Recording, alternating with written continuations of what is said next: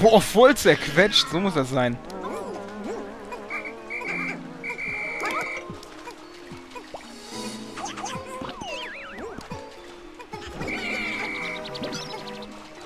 Okay, das nächste Mal werde ich definitiv vorsichtiger sein.